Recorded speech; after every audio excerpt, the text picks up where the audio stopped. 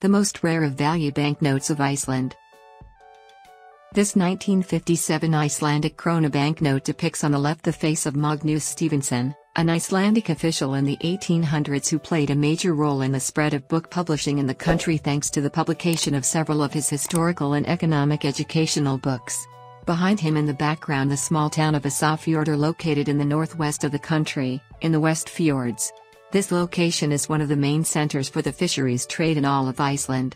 On the reverse, the municipality Vestmannaeyjar located on a small island south of the country, the only habitable one.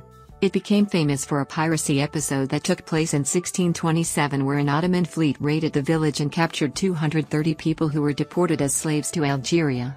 This note is now worth $19.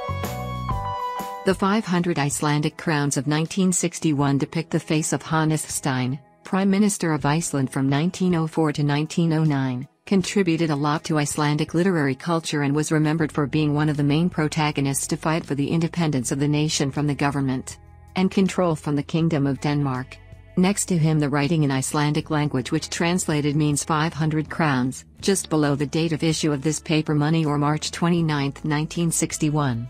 On the reverse side of the fishermen intent on their daily work in the Norwegian Sea. Today this note is worth $20. The 1957 Icelandic 10 crowns depict the bust of Jón Eiríksson, a well-known explorer and politician who sailed the Norwegian Sea between Iceland and Denmark.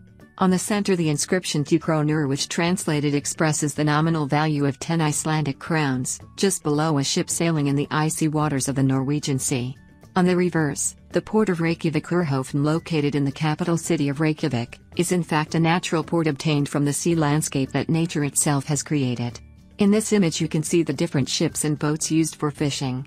Today this note is worth $22.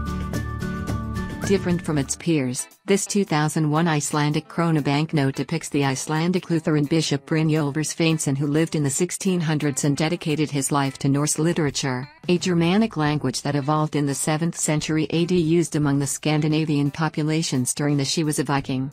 On the reverse of the building of his episcopal see of Skálholt in the west of Iceland, you will notice the bishop welcoming some foreigners. This paper money is now worth $23. The 1,000 Icelandic crowns of 1961 depict the Alþingishúsið building in the center, the seat of the nation's parliament in the capital city of Reykjavik. A little above the bold lettering indicating the face value of 1,000 crowns, on the right the face of the politician Jón Sigurðsson, leader of the Icelandic independence movement who lived in the 1800s. On the reverse, the image of the Thingvellir National Park, a protected natural area located southwest of the island, now a World Heritage Site. The peculiarity of this place in addition to its natural beauty lies in the fact that around the year 931 of the first parliaments in the world was founded, where once a year the tribes met to enact the laws that they should have respected. Today this intact and original note is worth $31.